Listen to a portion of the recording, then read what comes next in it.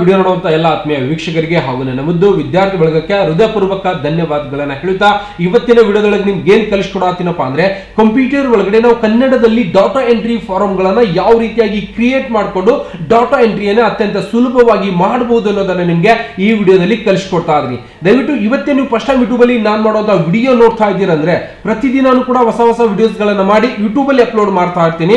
ಪ್ರತಿಯೊಂದು ವಿಡಿಯೋಸ್ಗಳನ್ನು ಕೂಡ ನೋಡಿ ಕಂಪ್ಯೂಟರ್ ಶಿಕ್ಷಣವನ್ನ ಸಂಪೂರ್ಣವಾಗಿ ಕಲಿಬೇಕಾಗಿದೆ ಅಂದ್ರೆ ಏನ್ ಮಾಡ್ಬೇಕು? ವಿಡಿಯೋ ಕೆಳಗೆ ಸಬ್ಸ್ಕ್ರೈಬ್ ಅನ್ನೋ ಬಟನ್ ಕಾಣಿಸ್ತದೆ, ಕೆಂಪು ಅಕ್ಷರಲೆ ಸಬ್ಸ್ಕ್ರೈಬ್ ಮಾಡ್ರಿ, ಬಾಜು ಒಂದು ಬೆಲ್ಲೈಕನ್ ಗಂಟಿ ಬರ್ತದೆ. ಮೇಲಿನ ಗಂಟಿ ಬಾರಿಸ್ಬಿಟ್ರೆ ಸಾಕು ನಾ ಮಾಡುವಂತ ಈ ತರ ಪ್ರತಿಯೊಂದು ವಿಡಿಯೋಸ್ಗಳ ಮಾಹಿತಿ ಏನಾಗಿರುತ್ತೆ, ನಿಮ್ಮ ಫೋನ್ ಮೇಲೆ ಮತ್ತೆ ನಿಮ್ಮ ಕಂಪ್ಯೂಟರ್ ಮೇಲೆ ನೋಟಿಫಿಕೇಶನ್ ಬರ್ತಾ ಇರುತ್ತೆ. ನೀವು ಮನೆಯಲ್ಲೇ ಕುತ್ಕೊಂಡು ನಾನು ಮಾಡುವಂತಹ ಪ್ರತಿಯೊಂದು ವಿಡಿಯೋಸ್ಗಳನ್ನು ಕೂಡ ನೋಡಿ ಕಂಪ್ಯೂಟರ್ ಶಿಕ್ಷಣವನ್ನ ಸಂಪೂರ್ಣವಾಗಿ ಕಲಿಯಬಹುದು ಸ್ನೇಹಿತರೆ. ಅದರ ಜೊತೆಗೆ ನಿಮಗೆ ಉದ್ಯೋಗಕ್ಕೆ ಕಂಪ್ಯೂಟರ್ ಸರ್ಟಿಫಿಕೇಟ್ ಬೇಕಾಗಿತ್ತು ಅಂದ್ರೆ ಸರ್ಟಿಫಿಕೇಟ್ ಬೇಕಾಗಿತ್ತು ನನ್ನ ಜೊತೆ ಕಾಂಟ್ಯಾಕ್ಟ್ ಮಾಡಿ ಸರ್ಟಿಫಿಕೇಟ್ ಅನ್ನ ಪಡಿಬೇಕಾಗಿತ್ತು ಅಂದ್ರೆ ಡಿಸ್ಪ್ಲೇ ಕೆಳಗಡೆ ನಿಮಗೆ ಕಾಣಿಸ್ತಾ ಇದೆ. ಗುರು ನೈನ್ ಎಕ್ಸ್ ಅಂತ ಇನ್ಸ್ಟಾಗ್ರಾಮ್ ಐಡಿ ಇರುತ್ತೆ. ಅಲ್ಲಿ ಬಂದು ಕಾಂಟ್ಯಾಕ್ಟ್ ಮಾಡಿ ನೀವು ಸರ್ಟಿಫಿಕೇಟ್ ಕೂಡ ಪಡೆಯಬಹುದು ಸ್ನೇಹಿತರೆ ನೋಡ್ರಿ, ಇವತ್ತು ನಾನು ಓಪನ್ ಮಾಡ್ಕೋತಾ ಇದ್ದೀನಿ ಮೈಕ್ರೋಸಾಫ್ಟ್ ಎಕ್ಸೆಲ್ ಒಳಗಡೆ ಕನ್ನಡದ ಒಳಗೆ ಯಾವ ರೀತಿಯಾಗಿ ಡಾಟಾ ಎಂಟ್ರಿಯನ್ನ ಪ್ರೊಫೆಷನಲ್ ಆಗಿ ಹೆಂಗ್ ಮಾಡ್ತಾರೆ ಅನ್ನೋದನ್ನ ಕಲಿಸ್ಕೊಡ್ತಾ ಇದ್ದೀನಿ ವಿಡಿಯೋನ ಸ್ಕಿಪ್ ಮಾಡಲಾರ್ದೆ ಸಮಾಧಾನದಿಂದ ನೋಡಿದ್ರೆ ಏನಾದ್ರೂ ಒಂದ್ ಎರಡು ಅಕ್ಷರನ ಸಂಪೂರ್ಣವಾಗಿ ಕಲಿಯುತ್ತೀರಿ ಓಕೆ ನಾನು ಸ್ಟಾರ್ಟ್ ಒಳಗೆ ಹೋಗ್ತಾ ಇದ್ದೀನಿ ಇಲ್ಲಿಂದ ಹೋಗಿ ಆಲ್ ಪ್ರೋಗ್ರಾಮ್ ಒಳಗೆ ಹೋಗ್ಬೇಕು. ಇದರ ಒಳಗಡೆ ನನ್ನ ಕಡೆ ಇರುವಂತಹ ಒಂದು ಮೈಕ್ರೋಸಾಫ್ಟ್ ಆಫೀಸ್ ಎಕ್ಸೆಲ್ ಸಾಫ್ಟ್ವೇರ್ ನಾನು ಇಲ್ಲಿಂದ ಓಪನ್ ಮಾಡ್ಕೋತಾ ಇದ್ದೀನಿ ಎಲ್ಲಿ ಕಾಣಿಸ್ತಾ ಇದೆ ನೋಡಿ ಮೈಕ್ರೋಸಾಫ್ಟ್ ಆಫೀಸ್ ಎಕ್ಸೆಲ್ ಸಾಫ್ಟ್ವೇರ್ ಅನ್ನ ನಾನು ಇಲ್ಲಿ ಓಪನ್ ಮಾಡ್ತಾ ಇದ್ದೀನಿ. ಕಾಣಿಸ್ತಾ ಇದೆಯಾ? ಮೈಕ್ರೋಸಾಫ್ಟ್ ಆಫೀಸ್ ಎಕ್ಸೆಲ್ ಎರಡ್ ಸಾವಿರದ ಹತ್ತು ಸಾಫ್ಟ್ವೇರ್ ಅನ್ನ ನಾನು ಓಪನ್ ಮಾಡ್ಕೋತಾ ಇದ್ದೀನಿ ಓಕೆ ಓಪನ್ ಮಾಡ್ತಿದ್ದಂಗೆ ನಿಮ್ಗೆ ಈ ತರ ಡಿಸ್ಪ್ಲೇ ಮೇಲೆ ಕೂಡ ಕಾಣಿಸ್ತಾ ಇರುತ್ತೆ. ಈ ರೀತಿಯಾಗಿ ನಿಮ್ಗೆ ಮೈಕ್ರೋಸಾಫ್ಟ್ ಆಫೀಸ್ ಎಕ್ಸೆಲ್ ಸಾಫ್ಟ್ವೇರ್ ಕೂಡ ಓಪನ್ ಆಗುತ್ತೆ. ಇದನ್ನ ಏನ್ ಮಾಡಬೇಕು? ಮ್ಯಾಕ್ಸಿಮೈಸ್ ಮಾಡಿ ಇಟ್ಕೋಬೇಕು. ಇದರ ಒಳಗಡೆ ಏನ್ ಮಾಡಬೇಕಾಗಿದೆ? ಕನ್ನಡದ ಒಳಗಡೆ ಡಾಟಾ ಎಂಟ್ರಿಯನ್ನ ಮಾಡಬೇಕಾಗಿದೆ ಅಂದ್ರೆ ಒಂದು ಫಾರ್ಮ್ ಅನ್ನ ಕ್ರಿಯೇಟ್ ಮಾಡಬೇಕಾಗಿದೆ. ಅಂದ್ರೆ ಆಟೋಮೆಟಿಕ್ ಆಗಿ ಡಾಟಾ ಎಂಟ್ರಿ ಮಾಡುವಂತ ಒಂದು ಫಾರ್ಮ್ ಅನ್ನ ನಾವು ಇಲ್ಲಿ ಜನರೇಟ್ ಮಾಡಬೇಕಾಗಿದೆ. ಮತ್ತೆ ಇದ್ರೊಳಗಡೆ ಕನ್ನಡ ಟೈಪಿಂಗ್ ಮಾಡಿ ನಾವು ಡಾಟ್ ಎಂಟ್ರಿಯನ್ನ ಮಾಡಬೇಕಾಗಿದೆ. ಯಾವ ರೀತಿ ಮಾಡೋದಪ್ಪ ಅಂದ್ರೆ, ನೀವು ಮೊದಲಿಗೆ ಯಾವ್ದಾದ್ರು ಒಂದು ಅಕ್ಷರನ ಟೈಪ್ ಮಾಡಿದಾಗ ಇಂಗ್ಲಿಷ್ ಒಳಗಡೆ ಬಂದ್ಬಿಡುತ್ತೆ. ಇದನ್ನ ಕನ್ನಡದೊಳಗೆ ಬರಿಬೇಕಾಗಿದೆ ಸರ್. ನಾನು ಕನ್ನಡದೊಳಗೆ ಡಾಟಾ ಎಂಟ್ರಿಗಳನ್ನ ಕೆಲಸ ಮಾಡಬೇಕಾಗಿದೆ, ಕಲಿಬೇಕಾಗಿದೆ ಅಂದ್ರೆ ಮೊದಲಿಗೆ ನೀವೇನ್ ಮಾಡಬೇಕು? ಯಾವುದೇ ಕಂಪ್ಯೂಟರ್ ಒಳಗಡೆ ನೀವು ಕನ್ನಡ ಟೈಪಿಂಗ್ ಮಾಡಬೇಕಾಗಿತ್ತು ಅಂದ್ರೆ ಏನ್ ಮಾಡಬೇಕು? ಸ್ಟಾರ್ಟ್ ಒಳಗೆ ಹೋಗಿ ಇಲ್ಲಿಂದ ನುಡಿಯನ್ನ ಓಪನ್ ಮಾಡಬೇಕು. ಸ್ಟಾರ್ಟ್ ಒಳಗೆ ಹೋಗಿ ಇಲ್ಲಿಂದ ಏನ್ ಮಾಡ್ಬೇಕು? ನುಡಿ ಒಳಗೆ ಹೋಗಿ ಇದರಲ್ಲಿ ನಿಮ್ಗೆ ಕಾಣಿಸ್ತಾ ಇರತ್ತೆ. ನುಡಿ ಅನ್ನೋದು ಬರುತ್ತೆ ಸಾಫ್ಟ್ವೇರ್ ನಿಮ್ ಕಂಪ್ಯೂಟರ್ ಕೂಡ. ಇಲ್ಲಿ ನುಡಿ ಫೈವ್ ಪಾಯಿಂಟ್ ಜೀರೋ ಒಂದು ಮತ್ತೆ ಎರಡು ಎರಡು ರೀತಿಯಾಗಿ ಕಾಣಿಸ್ತಾ ಇರತ್ತೆ. ನಾವು ನುಡಿ ಒಳಗಡೆನೆ ಟೈಪ್ ಮಾಡಬೇಕಾಗಿತ್ತು ಅಂದ್ರೆ ಇದನ್ನ ಓಪನ್ ಮಾಡ್ಬೇಕಂದ್ರೆ ನುಡಿ ಸಾಫ್ಟ್ವೇರ್ ಒಳಗಡೆ ಬರಿಬೇಕಾಗಿತ್ತು ಅಂದ್ರೆ ಇದನ್ನ ಓಪನ್ ಮಾಡಬೇಕು.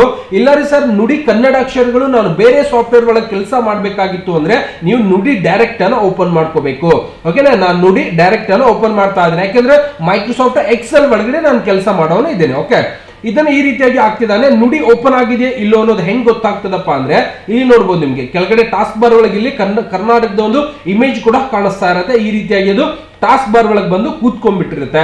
ಇದರ ಒಳಗಡೆ ಈಗ ನೀವು ಕನ್ನಡ ಟೈಪಿಂಗ್ ಈಗ ಏನಾದ್ರೂ ಬರೀರಿ ಈ ರೀತಿಯಾಗಿ ಅಕ್ಷರಗಳ ಬರೀಲಿಕ್ಕೆ ಶುರು ಆಗುತ್ತೆ. ನೋಡಿ, ಕಾಣಿಸ್ತಾ ನೀವು ಏನೇ ಒಂದು ಟೈಪ್ ಮಾಡಿದ್ರೆ ಈ ರೀತಿಯಾಗಿ ಅಕ್ಷರಗಳು ನಮ್ಗೆ ಇಲ್ಲಿ ಟೈಪ್ ಆಗ್ಲಿಕ್ಕೆ ಶುರು ಆಗುತ್ತೆ. ಇಂಗ್ಲಿಷು ಬರೋದಿಲ್ಲ, ಈ ಕಡೆ ಕನ್ನಡನೂ ಬರೋದಿಲ್ಲ, ಈ ರೀತಿಯಾಗಿ ಅಕ್ಷರಗಳಲ್ಲಿ ಟೈಪ್ ಆಗಲಿಕ್ಕೆ ಶುರು ಮಾಡುತ್ತೆ. ನಾವು ಕನ್ನಡದೊಳಗಡೆ ಬರೀಬೇಕಾಗಿತ್ತು ಅಲ್ಲ ಸರ್ ಅಂದ್ರೆ ಇದನ್ನ ಸೆಲೆಕ್ಟ್ ಮಾಡಿ ನಾನು ಡಿಲೀಟ್ ಮಾಡ್ಕೋತೀನಿ. ಈಗ ಎಷ್ಟು ಕಾಲಮ್ ಈಗ ಇನ್ನೊಂದು ನೋಡ್ರಿ, ನಾನು ಇಲ್ಲಿಂದ ಬರಿತೀನಿ ಅಂತ ಅನ್ಕೋರಿ, ಓಕೆನಾ? ಏನ್ ಬರಿಬೇಕಾಗಿದೆಯಪ್ಪ? ಫಸ್ಟಿಗೆ ಅಂದ್ರೆ ವಿದ್ಯಾರ್ಥಿಗಳ ದಾಖಲಾತಿ ಮಾಹಿತಿಯನ್ನ ನಾನು ಒಂದು ಫಾರ್ಮ್ ಅನ್ನ ಜನರೇಟ್ ಮಾಡಿ ಇಟ್ಕೋಬೇಕಾಗಿದೆ. ಅವಾಗ ನಾನು ಏನ್ ಮಾಡ್ತೀನಿ? ವಿ ಐ ಬರ್ದಾಗ ಏನು ಬರ್ತಾ ಇಲ್ಲ. ಅವಾಗ ಏನ್ ಮಾಡ್ಬೇಕು? ಇಲ್ಲಿಂದ ಅಕ್ಷರಗಳನ್ನ ಸೆಲೆಕ್ಟ್ ಮಾಡ್ಕೋಬೇಕು. ಓಕೆನಾ? ಇಲ್ಲಿಂದ ಅಕ್ಷರಗಳು ಯಾವ ಅಕ್ಷರಗಳು ತಗೋಬೇಕು? ನುಡಿ ಕನ್ನಡ, ನುಡಿ ಅಕ್ಷರಗಳನ್ನ ನೀವೇನ್ ಮಾಡ್ಬೇಕು ಇಲ್ಲಿಂದ? ತಗೋಬೇಕು. ನಾನು ಒಣಜು ಜೀರೋ ಪಾಯಿಂಟ್ ಒನ್ ಅನ್ನ ತಗೋತಾ ಇದ್ದೀನಿ. ಇವಾಗ ನೀವೇನು ಮಾಡಬೇಕು? ವಿದ್ಯಾರ್ಥಿಗಳ ಅಂತ ನೀವು ಟೈಪ್ ಮಾಡ್ಬೋದು. ಓಕೆ ನೋಡಿ ಬರ್ತಾ ಇದೆ. ವಿದ್ಯಾರ್ಥಿ ಓಕೆ ವಿದ್ಯಾರ್ಥಿಗಳ, ನಾನು ವಿದ್ಯಾರ್ಥಿಗಳ ದಾಖಲಾತಿ ಮಾಹಿತಿಯನ್ನ ನಾನು ಮಾಡ್ತಾ ಇದ್ದೀನಿ. ದಾಖಲಾತಿ ಮಾಹಿತಿ.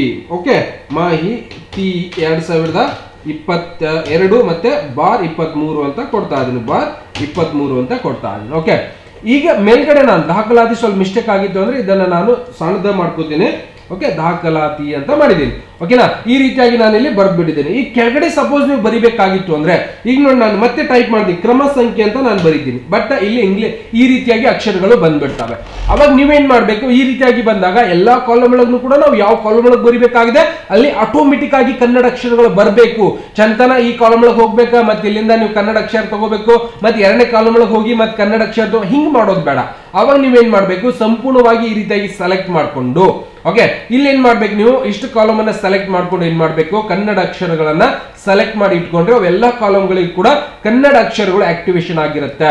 ಓಕೆ ಇದರ ಮೇಲೆ ನಾನು ಮಾಡ್ಕೋತೀನಿ. ಈಗ ನೀವು ನೋಡ್ಬೋದು, ಇಲ್ಲಿಂದ ನಾನು ಕ್ರಮ ಸಂಖ್ಯೆ ಅಂತ ಟೈಪ್ ಮಾಡ್ತೀನಿ. ಕ್ರಮ ಓಕೆ ಸಂಖ್ಯೆ ಅಂತಾನು ಕೂಡ ನಾನು ಇಲ್ಲಿ ಟೈಪ್ ಮಾಡ್ಕೋತಾ ಇದ್ದೀನಿ. ಓಕೆ ಕ್ರಮ ಸಂಖ್ಯೆ ಅಂತಾನು ಕೂಡ ಇಲ್ಲಿ ಟೈಪ್ ಮಾಡ್ತಾ ಇದ್ದೀನಿ. ಓಕೆ ಇಲ್ಲಿ ಕ್ರಮ ಸಂಖ್ಯೆ ಅಂತ ಬರ್ದೆ. ನೋಡಿ, ಕನ್ನಡ ಒಳಗೆ ಬಂತು.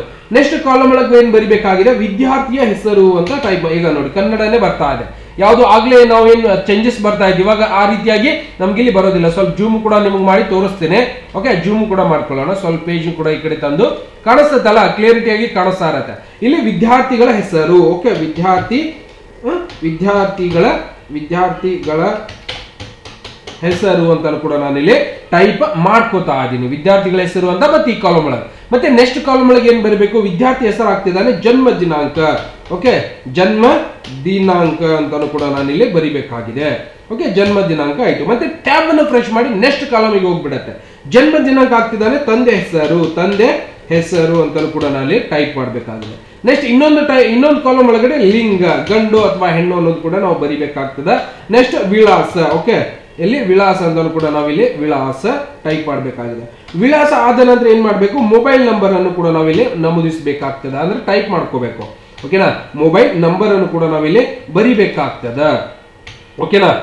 ಮೊ, ಓಕೆ, ಮೊಬೈಲ್ ಅಂತ ಬರ್ತಾ ಇದೆ. ಮೊಬೈಲ್ ನಂಬರ್ ಅಂತ ಕೂಡ ನಾನು ಇಲ್ಲಿ ಟೈಪ್ ಮಾಡ್ತಾ ಇದ್ದೀನಿ. ಓಕೆ? ನಂಬರ್ ಅಂತಾನು ಕೂಡ ಟೈಪ್ ಮಾಡ್ಕೋತಾರೆ. ನೋಡಿ, ಈ ರೀತಿಯಾಗಿ ನಾವು ಏನು ಮಾಡಿದೀವಿ? ಒಂದು ಚಾರ್ಟ್ ಅನ್ನ ರೆಡಿ ಮಾಡ್ಕೊಂಡು ಫಾರ್ಮೆಟ್ ಅನ್ನ ರೆಡಿ ಮಾಡಿದೀವಿ ಬಟ್ ಇಲ್ಲಿ ವಿದ್ಯಾರ್ಥಿಗಳ ಹೆಸರು ಒಳಗೆ ಹೋಗ್ಬಿಟ್ಟಿದೆ ಸರ್ ಸರಿಯಾಗಿ ಕಾಣಿಸ್ತಾ ಇಲ್ಲ. ಅವುಗಳನ್ನ ಸರಿ ಮಾಡ್ಕೋಬೇಕಪ್ಪ ಅಂದ್ರೆ ಏನ್ ಮಾಡ್ಬೇಕಂದ್ರೆ ಸಂಪೂರ್ಣವಾಗಿ ಸೆಲೆಕ್ಟ್ ಮಾಡ್ಕೊಂಡು ಓಕೆ ಎಲ್ಲಾ ಕಾಲಮ್ಗಳನ್ನ ಸೆಲೆಕ್ಟ್ ಮಾಡ್ಕೊಂಡು ನೀವೇನ್ ಮಾಡ್ಬೇಕು?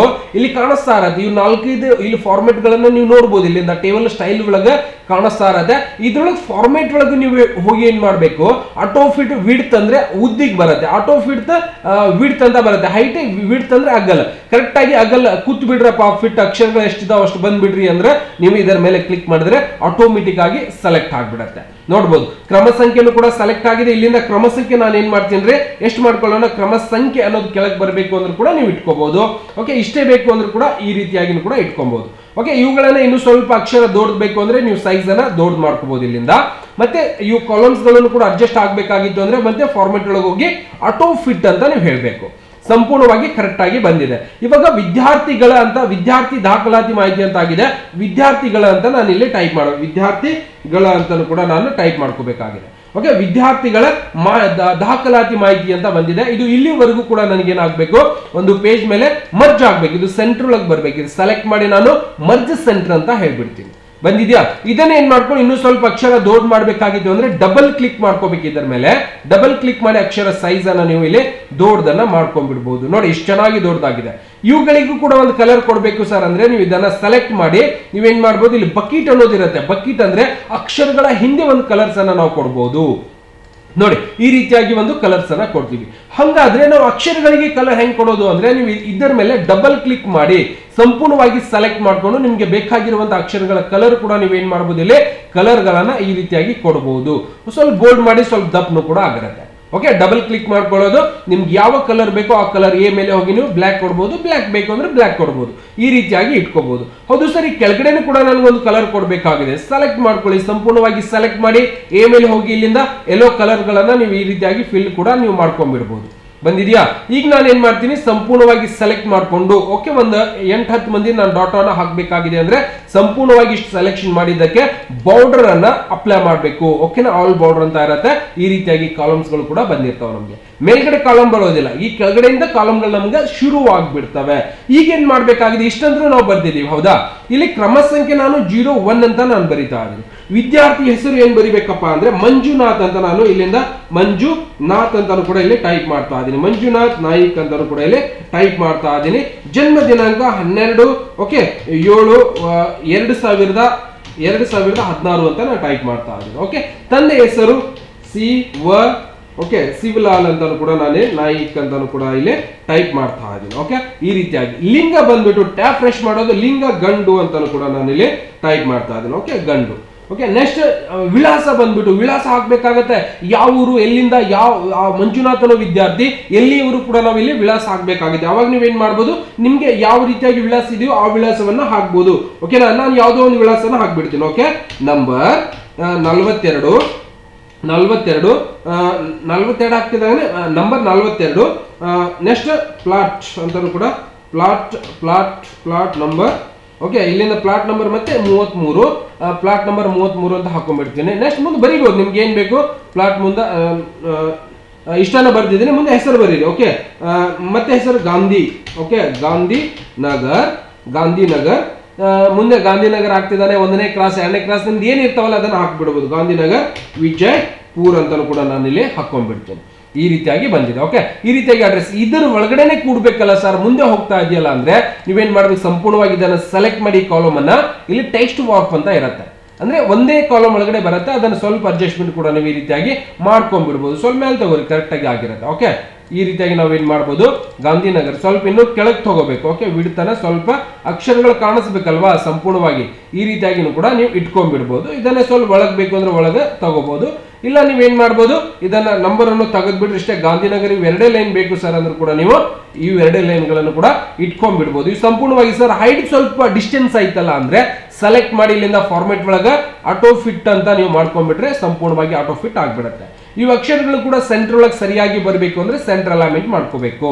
ಓಕೆನಾ ಪ್ಲಾಟ್ ನಂಬರ್ ಬಂತು. ಮೊಬೈಲ್ ನಂಬರ್ ಕೂಡ ಹಾಕಬೇಕು. Nine eight four five six two six one two three ಅಂತ ನಾನು ಯಾವುದೋ ಒಂದು ನಂಬರ್ಸ್ ಅನ್ನ ನಾನು ಇಲ್ಲಿ ಟೈಪ್ ಮಾಡ್ತಾ ಇದ್ದೀನಿ. ಈ ರೀತಿಯಾಗಿ ಇದು ಮ್ಯಾನ್ಯಲ್ ಆಗಿ ಮಾಡುವಂಥದ್ದು. ಗೊತ್ತಾಗ್ತಿದೆಯಾ? ಏನಿದು? ಮ್ಯಾನ್ಯಲ್ ಆಗಿ ಮಾಡುವಂಥದ್ದು. ಇದು ಸ್ವಲ್ಪ ಡಬಲ್ ಕ್ಲಿಕ್ ಮಾಡಿ. ಸರಿಯಾಗಿ ನೀವು ಈ- ರೀತಿಯಾಗಿ ಸರಿಸಿ ಇಟ್ಕೊಂಡ್ಬಿಡ್ಬೋದು. ಓಕೆ ಮೊಬೈಲ್ ನಂಬರ್ ಕೂಡ ಆಗಿದೆ. ಮೊಬೈಲ್ ನಂಬರ್ ಸ್ವಲ್ಪ ಜಾಗ ಬಹಳ ತಗೊಂಡಿದೆ ಇದಕ್ಕೆ. ಟೆಕ್ಸ್ಟ್ ವಾರ್ಪಿಂಗ್ ಮಾಡಿ. ಇದು ಸ್ವಲ್ಪ ಕೆಳಗಡೆ ಬರೋದ್ ರೀತಿಯಾಗಿ ನೀವು ಮಾಡ್ಕೊಂಡ್ಬಿಡ್ಬೇಕು. ಟೆಕ್ಸ್ಟ್ ವಾರ್ಪಿಂಗ್ ಅಂತ ಅಪ್ಲೈ ಮಾಡಿ. ಓಕೆ ಸ್ವಲ್ಪ ಒಳಗೆ ತಗೋರಿ ಇದನ್ನ ಒಳಗೆ ಸರಿಸಿದ್ರೆ ಏನಾಗ್ತದೆ? ಮೊಬೈಲ್ ನಂಬರ್ ಈ ರೀತಿಯಾಗಿ ಬಂದ್ಬಿಡುತ್ತೆ. ಓಕೆ ಬತ್ತಾ ಓಕೆ ನಾನು ಈ ರೀತಿಯಾಗಿ ತಗೊಂಡಿದ್ದೀನಿ. ಇನ್ನು ಸ್ವಲ್ಪ ಒಳಗೆ ಬೇಕು ಅಂದ್ರೆ ಒಳಗೆ ಸರಿಸ್ಕೋಬಹುದು ಓಕೆ ಕರೆಕ್ಟ್ ಆಗಿ ಫಿಟ್ ಆಗ್ಬಿಡುತ್ತೆ. ಇಲ್ಲಿ ವಿಳಾಸ ಇನ್ನು ಸ್ವಲ್ಪ ಒಳಗೆ ತಗೋರಿ. ಈ ರೀತಿಯಾಗಿ ನೀವು ಸರಿಸ್ಕೊಂಡ್ಬಿಡ್ಬೋದು. ಅಕ್ಷರ ಎಲ್ಲಿಗಿರುತ್ತೆ ಅಲ್ಲಿಗೆ ನೀವು ಸರಿಯಾಗಿ ಸರಿಸ್ಕೋಬೇಕು.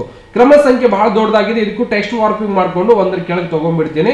ಈ ರೀತಿಯಾಗಿ ಇಟ್ಕೊಂಡ್ಬಿಡ್ತೀನಿ. ಓಕೆ ರೀತಿಯಾಗಿ ನೀವು ಒಂದು ಫಾರ್ಮ್ ಅನ್ನ ಕ್ರಿಯೇಟ್ ಮಾಡಿಕೊಂಡು ಏನ್ ಮಾಡಬಹುದು ಡಾಟಾ ಎಂಟ್ರಿಯನ್ನ ಅತ್ಯಂತ ಸರಳವಾಗಿ ಕೂಡ ಕನ್ನಡದ ಬೆಳಗನ್ನು ಕೂಡ ಮಾಡಬಹುದು ಸ್ನೇಹಿತರ. ಗೊತ್ತಾಗಿದೆಯಲ್ಲ? ಇದ್ರೊಳಗೆ ಯಾವ ರೀತಿಯಾಗಿ ಟೈಪ್ ಮಾಡಬೇಕು? ಜೀರೋ ಒನ್ ಅಂತೂ ಕೂಡ ನಾವು ಮಾಡಿದೀವಿ. ಮತ್ತೆ ಎರಡನೇದು ಬೇಕು ಅಂದ್ರೂ ಕೂಡ ಎರಡನೇ ನಂಬರ್ ಹಾಕೊಳ್ಳೋದು. ಮತ್ತೆ ವಿದ್ಯಾರ್ಥಿಗಳ ಹೆಸರು ಬರೆಯೋದು ಇಲ್ಲಿಂದ ಜನ್ಮ ದಿನಾಂಕ, ತಂದೆ ಹೆಸರು, ಲಿಂಗ, ವಿಳಾಸ ಮತ್ತೆ ಮೊಬೈಲ್ ನಂಬರ್ ಸಂಪೂರ್ಣವಾಗಿ ನೀವೇನ್ ಮಾಡ್ಬೋದು ಟೈಪ್ ಅನ್ನ ಮಾಡಬಹುದು ಅತ್ಯಂತ ಸರಳವಾಗಿ ಅನ್ನೋದು ಕೂಡ ನಿಮ್ಗೆ ಇಲ್ಲಿ ಸಂಪೂರ್ಣವಾಗಿ ಗೊತ್ತಾಗಿದೆ ಅಂತ ಅನ್ಕೋತಾ ಇದ್ದೀನಿ.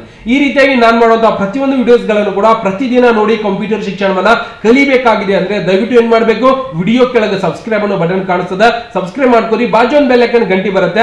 ಅದಕ್ಕೆ ಬಾರಿಸ್ಬಿಟ್ರೆ ಸಾಕು. ನಾ ಮಾಡುವಂತ ಈ ತರ ಪ್ರತಿಯೊಂದು ವಿಡಿಯೋಸ್ಗಳ ಮಾಹಿತಿ ಏನಾಗಿರುತ್ತೆ? ನಿಮ್ಮ ಫೋನ್ ಮೇಲೆ ಮತ್ತೆ ನಿಮ್ಮ ಕಂಪ್ಯೂಟರ್ ಮೇಲೆ ನೋಟಿಫಿಕೇಶನ್ ಬರ್ತಾ ಇರುತ್ತೆ. ನೀವು ಮನೆಯಲ್ಲೇ ಕುತ್ಕೊಂಡು ನಾನು ಮಾಡುವಂತಹ ಪ್ರತಿಯೊಂದು ವಿಡಿಯೋಸ್ಗಳನ್ನು ಕೂಡ ನೋಡಿ ಕಂಪ್ಯೂಟರ್ ಶಿಕ್ಷಣವನ್ನ ಸಂಪೂರ್ಣವಾಗಿ ಕಲಿಯಬಹುದು ಸ್ನೇಹಿತರೆ ಮತ್ತೆ ಸಿಗೋಣ ಮುಂದಿನ ವಿಡಿಯೋದಲ್ಲಿ. ನಮಸ್ಕಾರ. ವಿಡಿಯೋ ನೋಡುವಂಥ ಎಲ್ಲಾ ಆತ್ಮೀಯ ವೀಕ್ಷಕರಿಗೆ